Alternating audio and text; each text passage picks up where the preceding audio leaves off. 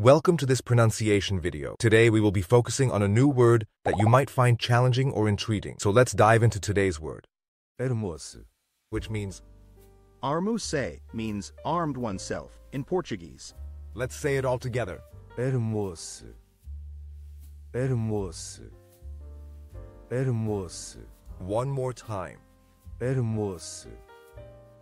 Armou-se. Armou-se.